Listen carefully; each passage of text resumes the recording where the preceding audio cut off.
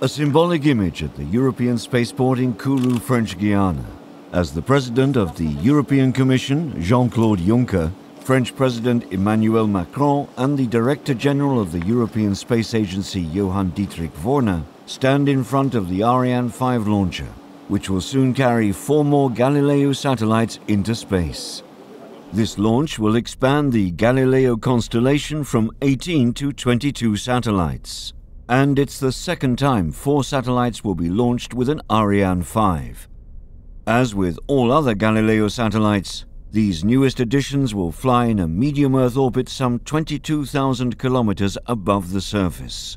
This is the penultimate launch before completion of the Galileo constellation. The completion of the constellation uh, will take place uh, in the summer of uh, 2018, where we launched the last Ariane 5 with four satellites, which will bring the total up to um, 26 satellites. So we have at that moment two satellites in reserve. And um, we will then, uh, after that, start uh, putting some extra reserves in space in order to be prepared just in case.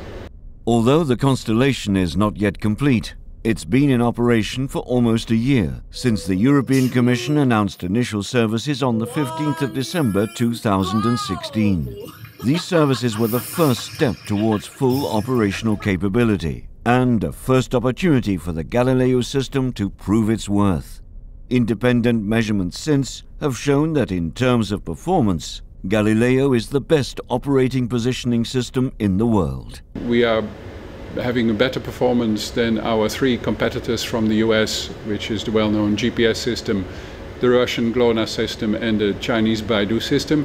So of course in ESA we are excessively proud of this and uh, it is now important that we keep building on this performance and uh, hopefully keep at the forefront of the developments. However, the work on Galileo is far from over.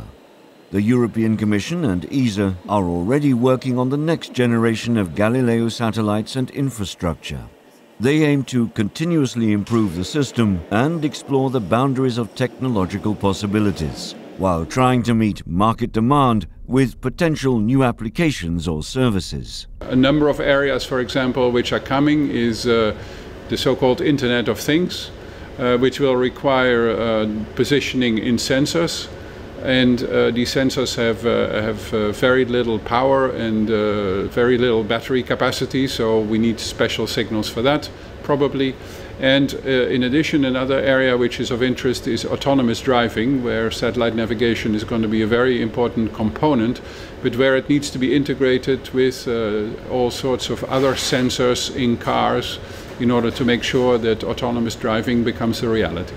With more launches to complete the constellation and set up redundancies, Galileo's performance and availability worldwide will continue to gradually improve, keeping Galileo at the cutting edge of satellite positioning technology. Today, the only publicly owned satellite navigation system has also proven to be the best.